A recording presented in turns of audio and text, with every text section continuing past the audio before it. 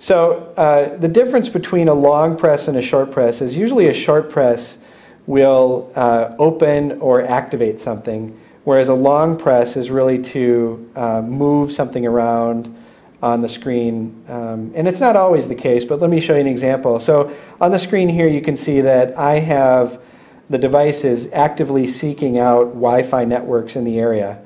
Um, if I want to turn that off because I'm going to be driving down the highway and don't want to be seeking Wi-Fi networks while I'm driving, all I do is a short press and just tap. So a short press is equated, equated as a tap, um, and it turns it off. So I can very easily tap it or do a short press and it turns it back on.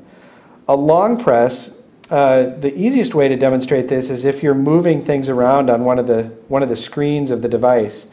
So for example, if I don't like this clock, um, and I want a different clock, I simply long press, so I stick my finger, and you can see if I, by holding my finger down, it makes it so that I can move it, and I can just drag it down, and it takes it off the screen. I haven't deleted it from my programs, I've just taken it off that screen. So if I want to move my messages up, I just long press and move that up on the screen. So that's kind of the difference between a long press and a short press. Long press, press and hold, and I can move it short press actually opens the application.